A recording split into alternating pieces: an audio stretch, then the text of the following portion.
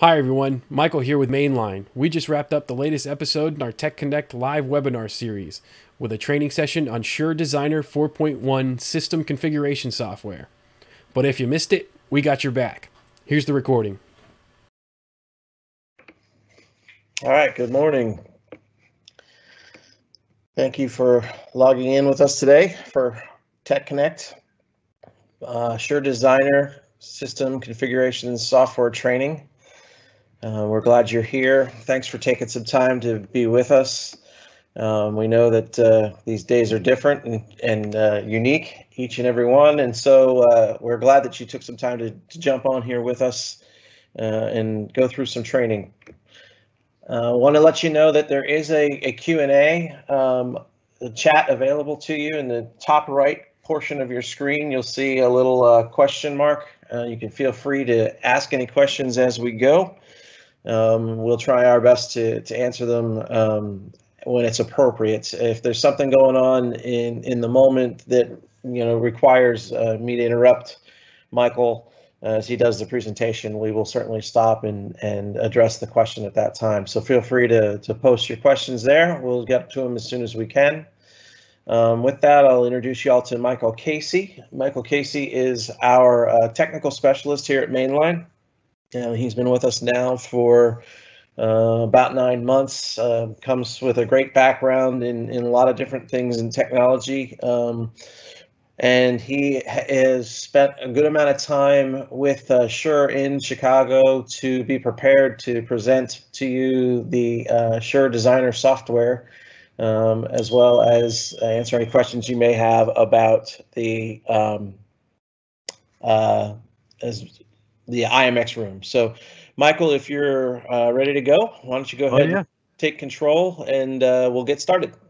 Uh, welcome, everybody. As uh, Craig mentioned, my name is Michael Casey. I'm the technical specialist here at Mainline. And uh, today we're going to be talking about Shure Designer 4.1. Designer is a product that's been around for a while, but this uh, 4.1 version that was just released is pretty significant, and it comes along with the release of our IntelliMix Room product. I know most, if not all of you, have seen some presentations on IntelliMix Room. Uh, if you haven't, definitely get with your uh, mainline rep and uh, get up to speed on that product. It's a really great new offering. So at this point, I'm going to share my screen. And first thing we'll talk about is how do we get Designer? So um, any old internet browser of your choice, you can log on to software.shure.com. And uh, here we can see there's a login page. And down at the bottom says register for designer. You just click on that link and it's a free download. Uh, just put in a little bit of information, your email, and it'll send you an email um, telling you how to download and install it on your Windows machine. So I'm going to go ahead and open this.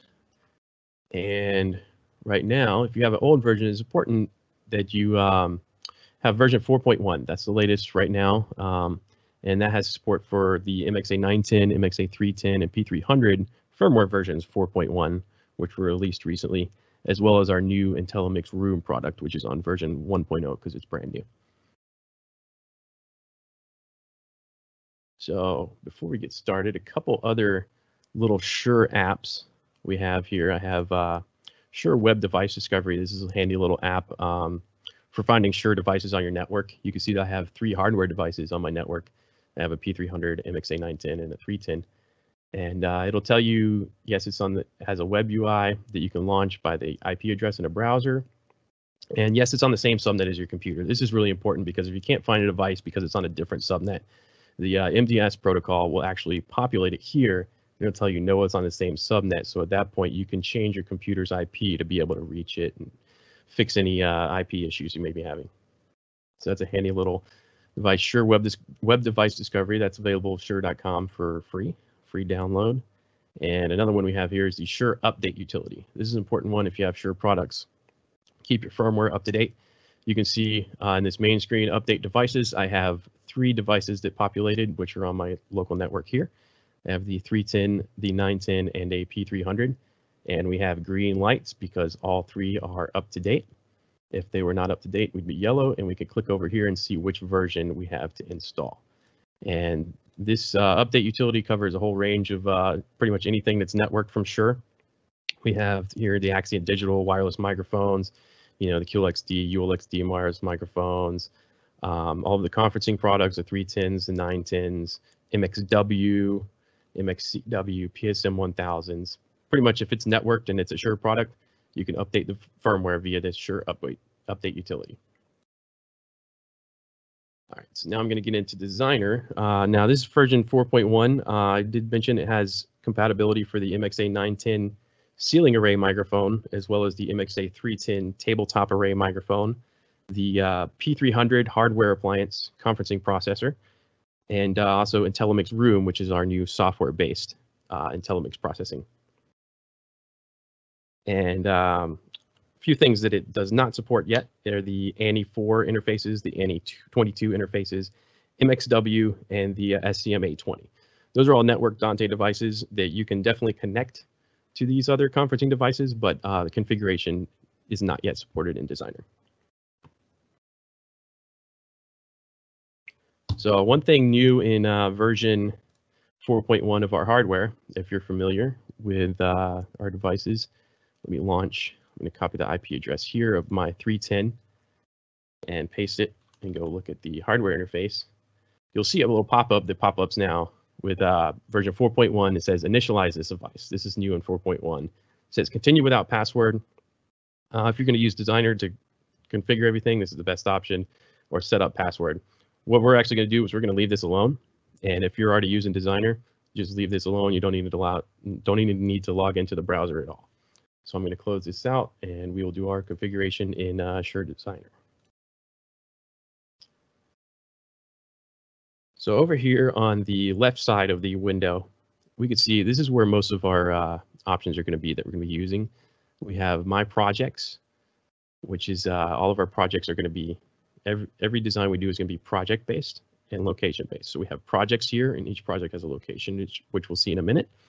Uh, templates, if you're doing a lot of rooms that are pretty much identical, you can save a template and then just launch it to a new location every time. You can save those in my templates. We have online devices down here at the bottom left. We see I have four devices online. If I pop this window open, we can see a little more information about our devices. Now, uh, that configuration page I showed you with the new pop-up in uh, version 4.1 says uh, initialize devices. We get a similar notification here in uh, Shure Designer.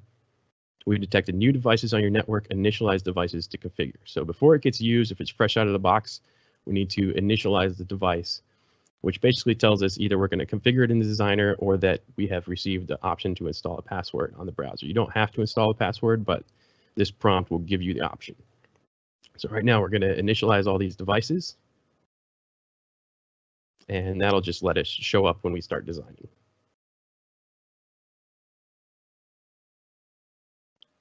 And then we have an event log. This is something you probably just use if you were uh, working with Shure support, trying to do some troubleshooting and a uh, few settings in here, the most important of which would be uh, your network setup. And here you can see that I have only one network interface card. Uh, if you have multiple cards, you can choose which one you're using to contact your Shure devices. So I'm going to go back here to My Projects, which is where we start off with a design. And up here at the top left, we see a little button that says New. I'm going to click on that, and I can either import a project from a uh, from my hard drive, and I will say, if you're upgrading from Designer, you know, three or earlier version, this is a good idea to export your projects. Just save them on your hard drive so that you can import them later um, in your new Designer. But I'm going to say new project. I'm going to call this training project. The name is required. Description is optional. I'm going to leave description blank. And you can see once I click that, we have now opened up our training project. So this interface we see now is our training project that we just created. And up at the top, we see three tabs, location, devices, and licenses. And start out in location because every design needs at least one location. I'm going to click new.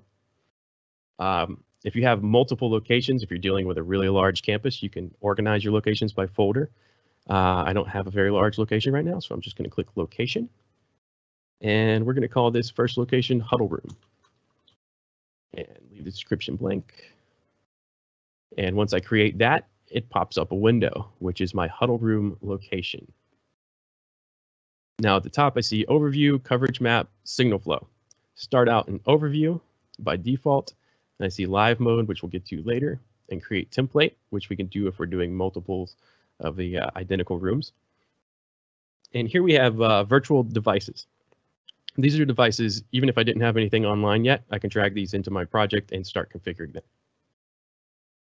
So I have the ANI USB interface, IntelliMix Room software, the MXA 310 tabletop microphone, the 910 ceiling microphone, and the P300 audio conferencing processor.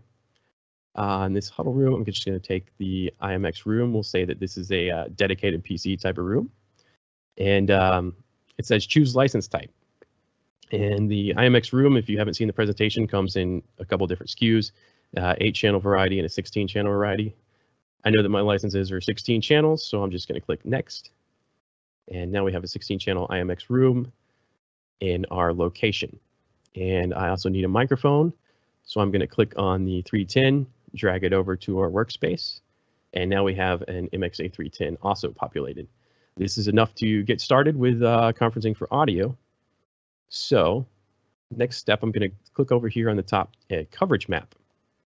And this is specific to our microphones, our MXA 910 microphones, which uh, we'll actually get to a little bit later. So I'm going to go over to uh, flow. And here we see the two devices that I've populated in the um, huddle room. We have the MXA 310 microphone and the IMX room software. I'm going to separate these a little bit. You can click these and drag these around wherever you need. And uh, we'll see all these uh, pins. These are output pins for my MXA 310 for my lobes and my auto mix output. And then the IMX room has one through, it's a 16 channel variety. So we have 16 channels of AEC IntelliMix processing, plus an additional eight channels of auxiliary Dante inputs. And then we have eight Dante outputs. Now what I could do is click these pins, drag them to another pin, and we can see that the patching takes place there but there's a uh, quicker way to do this. So I'm going to delete these. And I'm going to click up here in the top left, this button that says auto route. So it says uh, select one microphone and one processor to route all available audio channels. And we see a microphone is not selected, processor not selected. Let's go ahead and select our MXA 310. Just click on it once. And we see microphone MXA 310. Click on our IntelliMix room and IntelliMix room. So now we've populated a microphone and a processor, and I'm going to click route. And it automatically routed one-to-one -one default routing.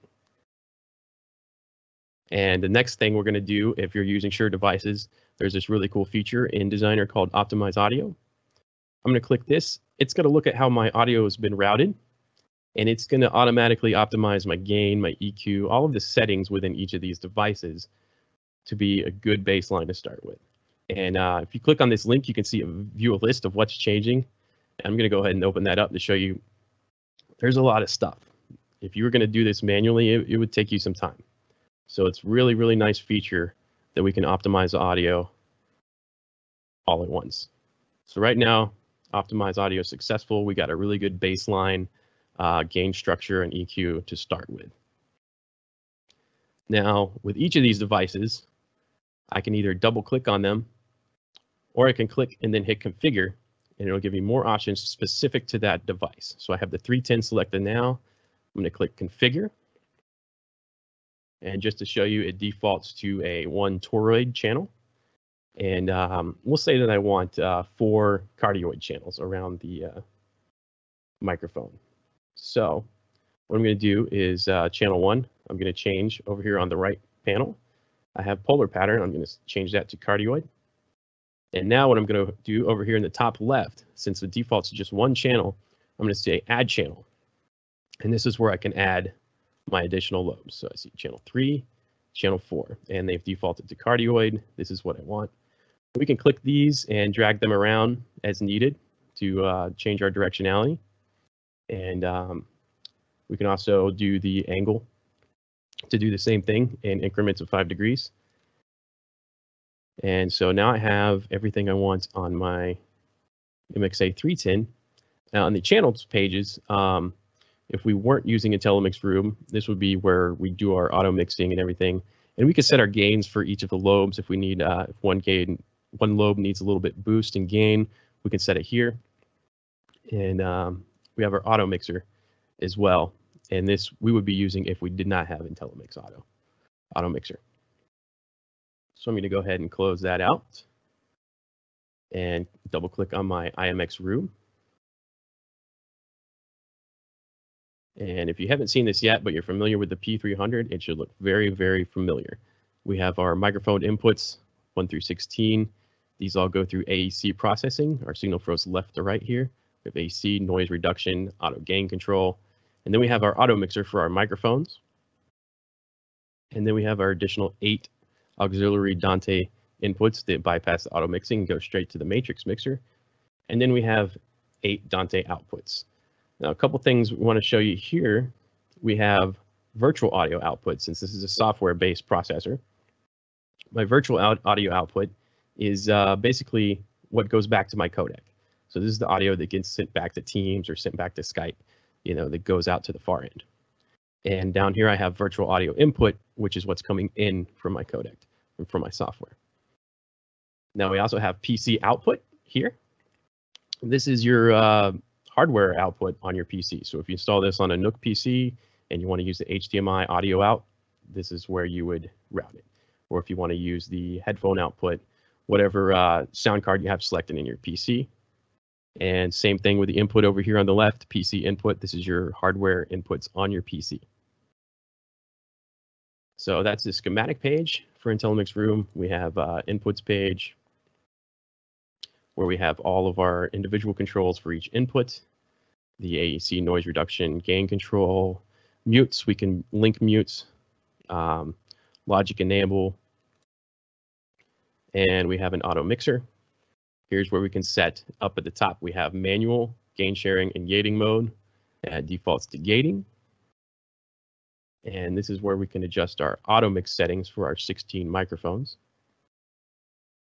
And then we have the matrix mixer where we can combine those 16 auto mix outputs as well as our other inputs with the uh, PC input, the virtual input, and the eight auxiliary Dante inputs and route them to all of our outputs.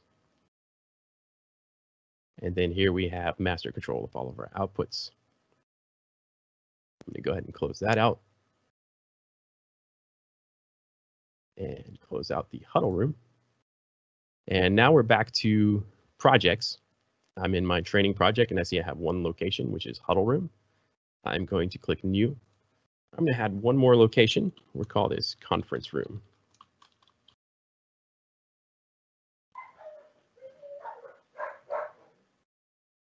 And here in the conference room, we see we've opened up to the overview where we drag our devices into the workspace. I have a uh, P300 in my conference room, and I have an MXA 910 in my conference room. And that's all of my devices. So now when I go to coverage map, this is a really handy feature for the MXA 910s. Um, we see a grid, which basically represents a floor plan of our uh, conference room. It defaults to a two by two grid, which is a typical ceiling grid. And we can see our uh, MXA 910 has been dropped in. We can click it and drag it around. And it has defaulted to eight lobes with a default coverage pattern. Um, what I'm going to do, I'm going to click off of that. And up here in the top left, I have add image. I'm going to click that. And here's where we can import a CAD image of our conference room. So I'm going to click here and we can see that we have a uh, our table layout with our chairs and this little pop-up that says draw a line to set image to scale. So we're going to say that I know this doorway is three feet. So I'm going to draw that. And then down here at the bottom, it says enter reference size. I'm going to say that was three feet. And you can enter decimals here if you need, you know, if your measurements are in inches, uh, if you need to do a little math. So three feet, hit the check mark. And now this has scaled my image to three feet. And we can see that it's quite large now. If I wanted to, I could click off of this image and I can drag up here at the top right. I'm using my scroll wheel on my mouse. It's really handy to have a uh, separate mouse when you're using this with a scroll wheel. I'm using my scroll wheel to zoom in and out. If you click up here at the top right, this is our basically our workspace dimensions, and it defaults to 30 by 30 and nine foot tall. Uh, this nine foot height is going to be important when we set the height of our MXA 910 microphone because we can't go past that height. So I'm going to drag this out just so I can fit my image in. And if I click anywhere on the workspace and hold and drag, that I can pan around the workspace.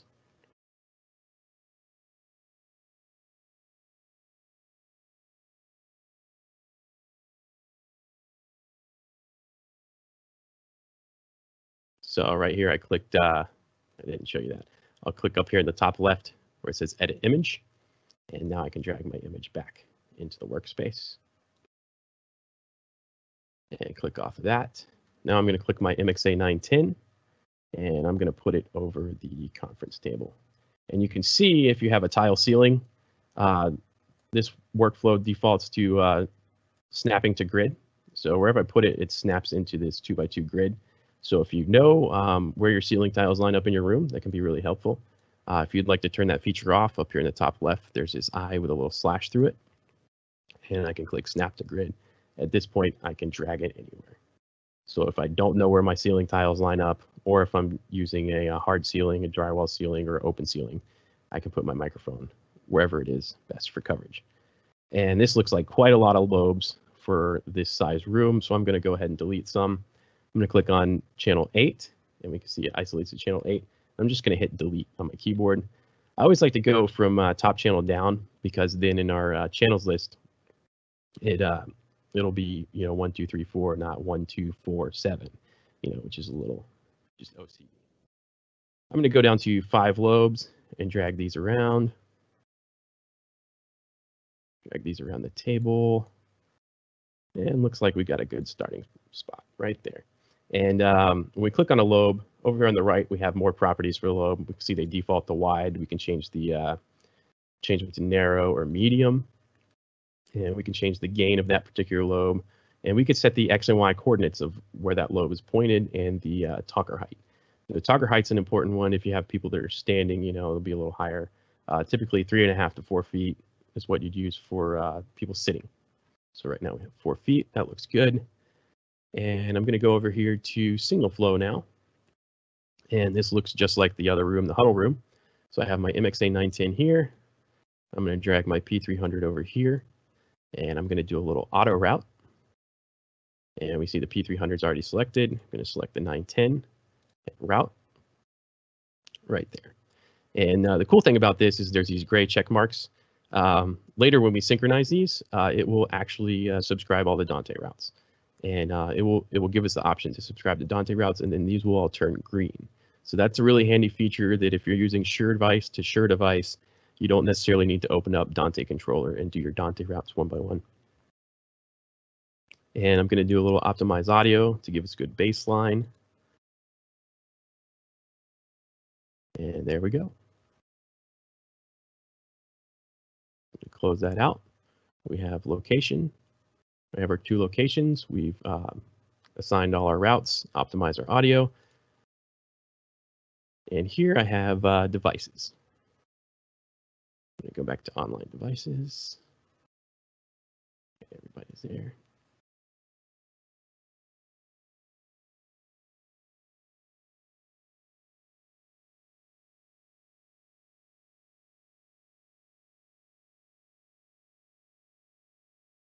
And licenses. All right.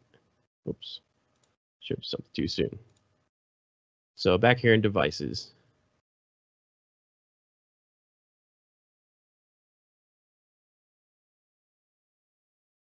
All right, all right. So I'm going to go to location here and then double check, double click my conference room. And up at the top, we see a live mode. And I'm going to go ahead and click that. So now that everything, all of our online devices have populated over here in the left. So this is location based in our conference room. Click on live mode. Now we have everything in here on the left and we have an MXA 910 and a P300 in our conference room. So I only have one of each online. So it's pretty apparent which ones I'm going to use. I'm going to click and drag right over the MXA 910, drop it there. Now it's associated. And you can see over here on the right, it says not synced. We haven't synchronized yet, so uh, we haven't changed any settings. We haven't changed any routing or any lobes, anything yet on the MXA 910. When we sync, that's when that'll happen. So I also need a P300, so I'm going to click the P300, drag it into my workspace, hover over P300, and now we have both devices associated. I'm going to close out of conference room. Actually, I should have synced those first. So here in a conference room, once we've dragged these over and associated them with our virtual devices, we have this button in the top right that says synchronize. And it gives us two options, push to devices or pull to design. Uh, push to devices is going to take everything we just did with our routing and everything offline, and it's going to send that to our hardware devices. Pull to design is going to take all of the settings that are already on the hardware device and change the settings of our, our design. So what I want to do is push to devices because these are brand new out of the box. Um, if you're using, if you're reusing devices, a good idea is to set a uh, location. So right now we're in conference room, which is an actual location. If you do a location here that's just, you know, a uh, backup location, we call it backup, put all your devices in it, say pull to design, you can save that. That way everything that was configured in devices is saved and back up before you deploy it to an actual room. So I'm going to say push to devices. A little pop-up comes up, says this will completely overwrite the devices. And um, only this design will be pushed to your devices. There's a little check mark down here, says push Dante routes. So we have an option. Do we want to actually subscribe to Dante subscriptions at this point, or do we want to leave it as is? You know, if we're using any third-party devices, maybe we want to leave it as is and use uh, Dante controller. But we're using brand new Shure device to Shure device. So yes, we absolutely do want to push the uh, Dante routes. So I'm going to say push, and it's going to give me a little status indication.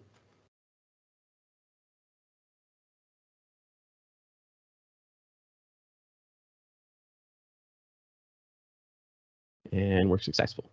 If it ever pops up and says unsuccessful, just push again. Usually the second time will do it. So that's done. Our conference room is synced, and we see this pop up says you should save this save this design as a preset before making any further changes um, because we're in live mode. Any changes we make now to the devices won't be part of our saved design offline. So we're going to go to our huddle room and basically do the same thing.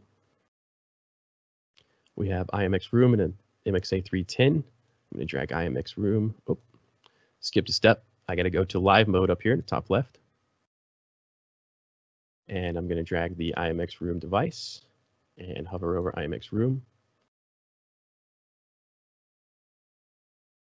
And we can see that it's populated, but we have this banner up at the top, unlicensed IntelliMix room installations detected in this project. This is specific to uh, IntelliMix room because each one needs to be licensed and the license are project based. So if I, I'm going to go ahead and associate my 310 and let's go ahead and synchronize these push to devices. Yes, I'll push the Dante routes.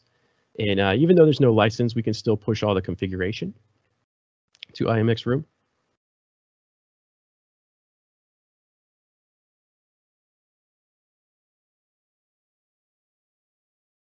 Successful and successful. So now at this point, if we go to licenses up here in the top right, it will take us to our license page. And the first time it pops up each license of IntelliMix Room needs a license pass audio. To activate your license, use your license ID. This is something when you purchase an IntelliMix Room license, you will get via email. And it says during activation, license activates all purchase installations. So anything you have in here, it's going to look for a license against that uh, license ID. And if it's available and exists, it's going to go ahead and activate these devices in this list. So at this point, if I click here and I click activate, and here's where I'd put in a uh, license device or a device license. I'm just going to go to my desktop here and I've saved my license ID in a handy little text document. Uh, this is something you'll get via email when you order a copy of IntelliMix Room. And I'm going to go back to designer, paste that into the license ID field, check that I've read the agreement, and I'm going to click activate. And here in the background, you should see this little red, red exclamation go away. as soon as it contacts the activation server. And there it went. And we can see that our license expiration is now February 2023. And I'm going to double click here. It's going to open up my IMX room configuration window. And we should see some audio coming in right there. Channels one through four, that's our uh, MXA 310 microphone, which is a few feet away from me on the desk. And uh, we can see Dante output and virtual audio output. Um, so before we did our license, you would have seen some uh, red exclamation points here on the output. You would have seen audio coming in, but these uh, there would have been red exclamations telling you that the uh, IMX room is not licensed, so the uh, it's not outputting any audio. But now we see that we're clear and uh, we've got audio output. And I'm going to switch over to my Huddle Room PC, which is also connected to this Teams meeting.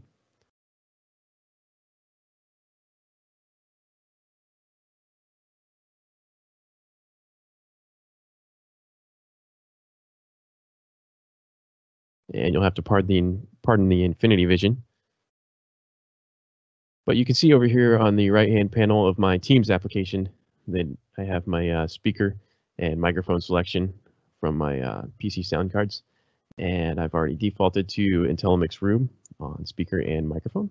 And we can see that my microphone is currently muted in the team Teams application. So what I'm going to do, I'm going to mute my mic on the uh, on my presentation computer and switch over.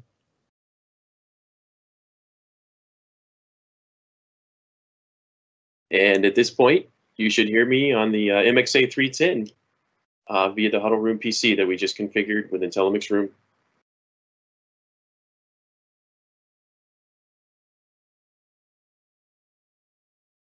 And now we're ready for conferencing. Uh, how's the Q&A looking, Craig? We got any questions coming in? We did get one. Um, someone had asked if uh, this was PC only. Uh, at this time, it is only uh, PC uh, software. Um, it does work in Parallels if you're working with a Mac and you have Parallels. It will work with uh, with Parallels. Um, but currently, as a downloadable uh, file, it is only a PC executable file.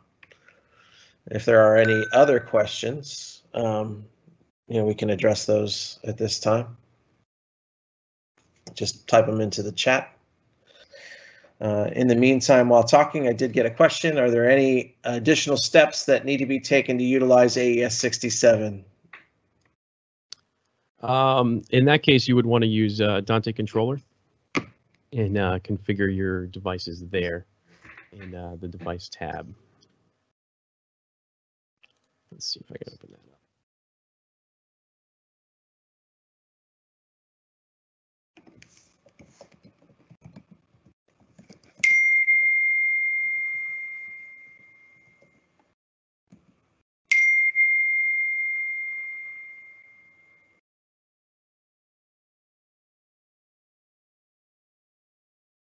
So here in uh, Dante Controller, we see all of my uh, online devices, my IntelliMix Room 310, 910, P300.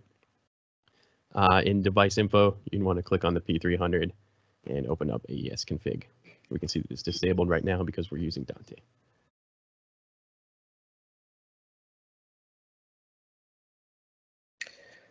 Uh, so yeah, utilize the Dante controller for that. Um, and that's a, that's a free download from uh, audinate.com. Is this used to set up MX Wireless 2?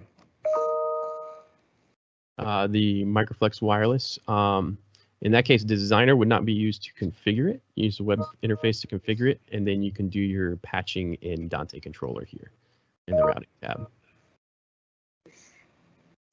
Okay. Uh, are there any packages available, meaning uh, deals on a complete system? I can grab that one. Uh, so we do have packages available for uh, bundling the MXA 910 and MXA 310 with a P300.